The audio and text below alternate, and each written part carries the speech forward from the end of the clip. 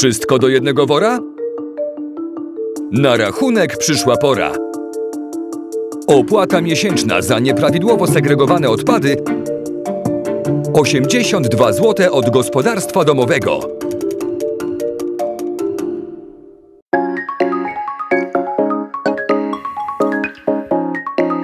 Monika Lipińska zostanie nową radną w suwalskim samorządzie. Absolwentka Wyższej Szkoły Finansów i Zarządzania w Białymstoku ma już za sobą kierowanie Agencją Rozwoju Regionalnego ARES. Aktualnie pracuje w Miejskim Ośrodku Pomocy Rodzinie. Jest specjalistką do spraw pozyskiwania funduszy i realizacji projektów. Jej droga do mandatu po Jacku Niedźwieckim była dość kręta. Pierwsza osoba, która miała zastąpić posła elekta, to znana z poprzedniej kadencji Bożena Kamińska. Ale nie chodzi tutaj o byłą posłankę i dyrektorkę Suwalskiego Ośrodka Kultury. Wystąpiła tu zbieżność imienia i nazwiska obu pań. Pani Bożena jednak nie zdecydowała się na wstąpienie w szeregi miejskich rajców. Kolejną osobą, która uzyskała największą liczbę głosów na liście w wyborach samorządowych sprzed pięciu lat, była Katarzyna Karaszewska.